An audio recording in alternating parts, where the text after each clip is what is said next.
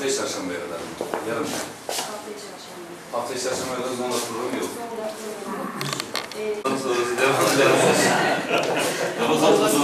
Can- Canlı açalım isterseniz de. Başkanım, Fatih Başkanım. Evet Sayın Başkanım, öncelikle bizlere kabulünüzden dolayı teşekkür ediyoruz. Sizin nezdinizde Elmas Gazetecileri Derneği üyelerine, yöneticilerin hepsine, hepsine teşekkür ediyoruz. Sizler de takip ediyorsunuzdur. Bu yapılacak olan Cumhurbaşkanlığı seçimleri öncesinde biz Milliyetçi Hareket Partisi teşkilatları olarak aynı anda sistemli bir şekilde 25 seçim bölgesinde arkadaşlarımız şu anda ziyaretlerine ve çalışmalarına devam ediyorlar.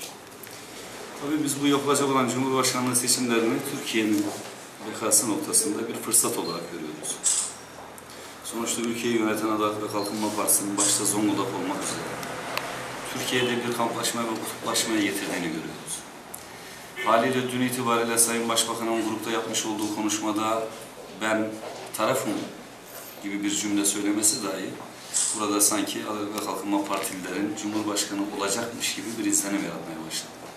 Yani Sayın Başbakan'ın görünen o ki psikolojisi bozulmuş durumda Çatalhöyük'ün karşısında. Tabii en son ulusalda yayınlanan bir ankette Sayın Ekmelettin İhsanoğlu'nun da arkasında çıkması hayal ve hülyasını bozmuş durumda. Tabii biz bu süreç içerisinde az önce söylemeye çalıştığım gibi adayımızın kazanabilmesi için çalışmalarımızı yürütürken de Zonguldak'ın sorunlarıyla ilgili de hiçbirisinden de geriye kalmıyoruz. Örneğin Türkiye Taş Kömürleri Kurumu'nun hala işçi alınmadığından dolayı kendini kapatma durumuna geldi. Erdemir'de yapılan yanlış politikalar sonucu elinde saç tüccarlarının ve nakliyatçı olan arkadaşlarımızın iflas etti. Alatlı bölgesindeki tersanelere bir çözüm bulunamayışından dolayı tersanelerde çalışan 7 bin kişinin işsiz kalması. Son dönemlerde biliyorsunuz Soma'daki hadise- hadiseden sonra bir korku psikolojisi oluştu. Ödevans sahalarında, taşeronlarda arkadaşlarımız işçi çalıştıramaz duruma geldiler. Meselelere böyle baktığınız zaman Zonguldak'ta temel sorunların devam ettiğini görüyorsunuz. Burada Zonguldak'ta Adalet ve Kalkınma Partisi'nin 3 milletvekili olmasına rağmen Zonguldak'ın sorunlarıyla ilgilenen ciddi bir vekil anlayışını da göremiyoruz. Bu bakımdan Zonguldak'ı sahipsiz olarak görüyoruz. Sizin de bildiğiniz gibi 6 metre boyunda bir Ankara Köprüsü'nün yapılamaması bir yıldan beri gerek belediye tarafından gerekse hükümet tarafından, idareciler tarafından Zonguldak için bir kayıp ve bir ayıptır. Bunun yanı sıra Zonguldak'ta işsizlik Türkiye'de en ön sıralar almaya başladı. Bunlar da Zonguldak'ımızın acı gerçekleri. Zonguldak halen göç veren bir şehir. Tabii bu turları atarken de biz Milliyetçi Hareket Partisi olarak Zonguldak'ın sorunlarıyla ilgili hiçbir şekilde kayıtsızda kalamayız. Bunları da bu tür ortamlarda sizin gibi e, Zonguldak kamuoyuna bilgi veren ve bu işleri takip eden arkadaşlar olduğunuzdan dolayı burada bunları da ekstradan söyleme gereği hissettik. Sözün kısası Zonguldak'ta görünen şudur ki e, Sayın Ekmelettin İhsanoğlu Zonguldak'ta ciddi bir farkla önde çıkacak gibi görünüyor. İnşallah bu Türkiye geneline de böyle yansıdığı zaman Türkiye'de siyaset kendi mecrasına girecektir. Yani Türkiye bir normalleşme sürecine girecektir. Türkiye'nin genel politikasını burada anlatmaya gerek yok. Bunu artık bütün vatandaşlarımız bilmekte. Ve aynı zamanda da adaletsiz bir yarışın içerisine girilmiş durumda. Sayın Başbakan kaybedeceğini biliyor olmalı ki 28 Ağustos'a kadar başbakanlık koltuğunda kalmayı düşünüyor.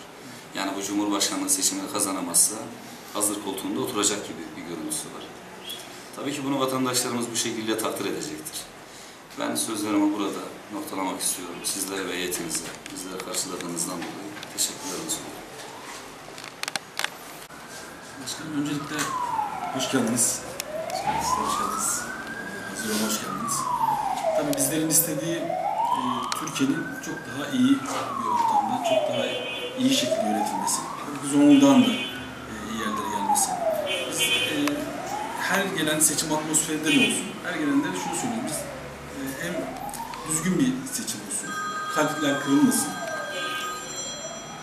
Çünkü Türkiye'nin her şeyden önce birlik beraberliğe ihtiyacı var. Ee,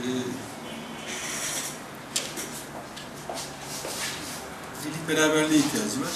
Bu birlik beraberliği bozulmayacak şekilde umarım bir seçim ortamı geçer. Ee, Cumhurbaşkanlığı dediğiniz gibi başbakanlığın ötesinde ayrı bir makam, makam. Birlik beraberliğini daha çok oluşturabileceği bir makam, oluşturması gereken bir makam. O yüzden umut ediyoruz ki e, bu seçim yarışı e, güzel geçer. E, kalpler kırılmaz. Türkiye genelinde ve Zonguldak'ta kalpler kırılmaz. E, bunun dışında Zonguldak'la ilgili sorunlarda evet Zonguldak'la ilgili sorunların aslında çok dillendirilmesi lazım. İşte son günlerde Mithatpaşa Tüneli'nden bahsediyoruz. Bizim de öncülüğü yaptığımız platformun oluşturduğu bir yapıyla imzalar da atılmıştı. Sizler de olun, destek vermiştiniz. Belli bir aşamaya geldi. 400 metre gidildi ama bir yerde tıkanıldı.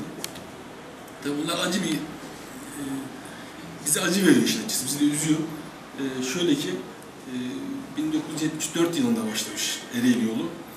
Aradan benim yaşım kadar zaman geçti. Hala yapılamadı. İşte Ankara yolu keza öyle duble yol değil. Tabii bunların dillendirilmesi lazım. Ama bunları dillendirirken tabii kırmadan, gücendirmeden ve de şöyle e, belki de e, teşvik ederek. Şimdi bunlar aslında görülüyor. Yani Ankara'ya gidip geldiği zaman, başka illere gidildiği, gidip gelindiği zaman hem siyasiler görüyor hem vatandaşlar görüyor. Bu yüzden Zonguldak'ın daha e, az geride kaldı, daha geride kaldı. Özellikle ulaşım anlamında geride kaldı. Aslında görülüyor. Bunları hatırlatmak lazım gibi geliyor bize. Kalıyor bize. Hatta gönül ister ki hatırlatmadan aslında bunlar yapılsın ama maalesef öyle olmuyor. O yüzden bu konuda da desteğinizi bekliyorum. Yani e, sorunların, tıkanılan e, işte icraatların hem gündeme getirilmesi konusunda hem de gündem oluşturması konusunda desteğinizi bekliyorum. Siz yapıyorsunuz zaten. Daha çok desteğinizi bekliyorum. Sizin e, nezdinizde diğer e, hem siyasi partilerden sivil toplum, örgütlerinden bu konuda desteklerini bekliyorum. Teşekkür ederim tekrar. Başkanım ben teşekkür ediyorum bu konuya girdiğinizden dolayı. Şimdi Mithatpaşa Tüneli ve Zülmez e, ve diğer tünellerle ilgili bizim de e, araştırmalarımıza göre şimdi deniyor ki e, tünelin içerisinde bir kömür damarına rastlandığından dolayı ilerleme yapılamadığı yönünde bir takım e, duyumlar alıyoruz. Fakat işin aslında böyle olmadığını fakat e, yüklenici firmaya ödenek verilmediğinden dolayı bu işlerin yapılmadığını, işte Üzülmez ve Sapça tünellerinin aslında sadece betonlamasının kaldığını, Mithatpaşa Tüneli'nde ise bu ödeneksizlikten dolayı arkadaşların çalışamadıkları söyleniyor. Ya bu önemli bir konuydu. Ben bunu hatırlatamadım size. Aklımda olan bir konuydu ama sizin bu konuyu e, hatırlatıp tekrar gündem almanız çok önemliydi. Dediğiniz gibi işte az önce söylemeye çalıştığımız gibi bağlama yaparsak Adalet ve Kalkınma Partisi için Zonguldak bir şehir olarak zaten görünmediğinden dolayı 12 yıldır bu gerek duble yolları gerek tünellerin yapılmayışından da zaten ortaya bir samimiyetsizlik çıkıyor. Tabii bu konuda sizin de söylediğiniz gibi biz elimizden ne geliyorsa Zonguldak'ımızın e, menfaatleri doğrultusunda orada oluruz. Bunu hatırlattığınızdan ve hassasiyetinizden dolayı da ben size teşekkür ediyorum.